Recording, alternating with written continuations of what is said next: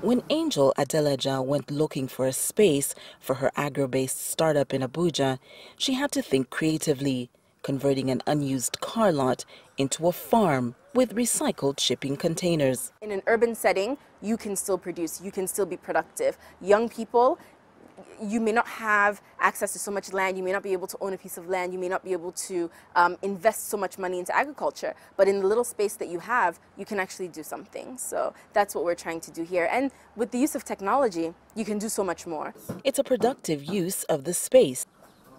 We farm using hydroponics inside our shipping containers, and our containers have our pipes, it has our fan systems, and we have our plants grow inside these. We put medium inside, and then our plants will grow. They'll grow roots, and when you put it in, it's able to grow over 3,000 heads of vegetables. We have a pump over there, and that pump circulates the water. So the water that you start at the beginning of the month is the water that you keep at the end of the month. And so you've, able, you've been able to conserve um, water, you've been able to conserve land, and you have premium veggies kind of like these that we have here. Under these controlled conditions, the farmers use fewer pesticides. Companies like Fresh Direct farm year-round in these shipping containers, and under the right environment, a grower can go from seeds to selling produce within weeks. One container farm can produce up to 30,000 heads of marketable leafy vegetables a year, the growing power of two acres of farmland.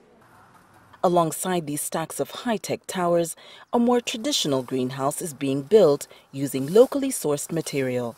I don't think that container can use to farm something inside, but I've learned a lot because it produces a lot of uh, kale and different different vegetables inside. The farmers are able to package and sell their fresh produce to the community. The only drawback is a limitation on what can grow inside the containers.